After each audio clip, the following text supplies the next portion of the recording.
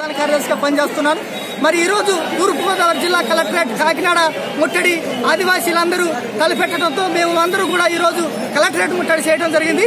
ప్రధాన డిమాండ్ ఏంటంటే ఏజెన్సీ ప్రాంతంలో అక్రమంగా వలసలు వచ్చినటువంటి ఓసీలు బీసీలు ఎస్సీలు విపరీతంగా ఎంఆర్ఓలకు ముడుపులు కట్టబెట్టి నకిలీ ఎస్టీ సర్టిఫికేట్లు తీసుకుంటున్నారు. ఎందుకు తీసుకుంటున్నారంటే మరి భారత రాజ్యాంగంలో ఏజెన్సీ ప్రాంతంలో ఆదివాసీలకి వంద శాతం రిజర్వేషన్ అనేది కల్పించడం జరిగింది.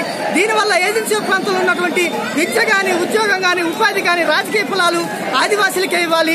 వీటి మీద కన్నేసిన నాన్ ట్రైబల్స్ మరి వాటిని అనుభవించడం కోసం ఎంఆర్ఓలకు ముడుపులు ఇచ్చేసి ఒక్కొక్క సర్టిఫికేట్కి యాభై వేల నుంచి లక్ష రూపాయలకి కట్టబెడుతూ వాళ్ళు నకిలీలని తెలిసి కూడా వాళ్ళకి ఎస్టీ కుల ధృవీకరణ పత్రాలు జారీ చేయటం వల్ల ఈ రోజు మేము ఏజెన్సీ ప్రాంతాల్లో విపరీతంగా నష్టపోతున్నాం.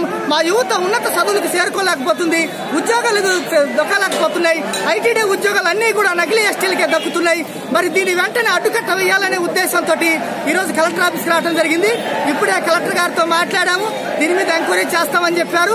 ఖచ్చితంగా మేము ఐటీడీ పీఓలు కానీ సబ్ కలెక్టర్ కానీ కలెక్టర్ కానీ హెచ్చరిస్తా ఉన్నాం.